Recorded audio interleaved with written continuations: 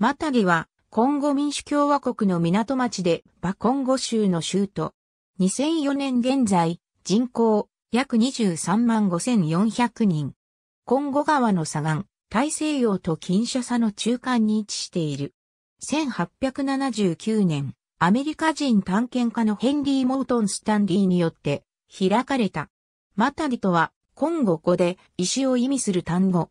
コンゴ川の川口から 120km 遡った場所にあり、外洋船が着岸できる。マタデから 350km 上流の金シャサまでは、リビングストン滝と呼ばれる急流が連続しており、船の航行が不可能である。そのため、内国水運の結節点である金シャサまでの鉄道が引かれ、今後唯一の外交として発展してきた。町は斜面の急な丘に作られているため、移動が困難な場所である。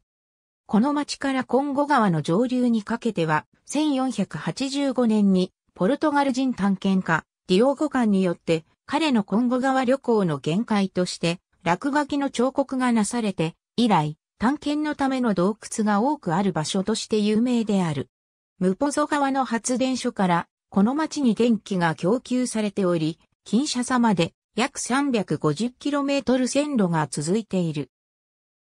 また、大西洋へ出ることが容易なことから、港は中部アフリカの中でも最大級であり、国内の輸出入における大きな役割を担っている。主要な輸出品はコーヒーと木材。また、州の漁業会社ペマーザでは、首都近社祭魚を届けるため、この港を利用している。チンピー空港が近くにあるが、不活性状態である。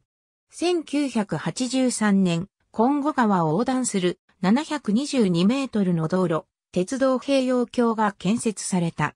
しかし、コンゴ川川口のバナナ港まで伸びるはずだった鉄道は、着工のめどが立たず、現在は道路のみの共用となっている。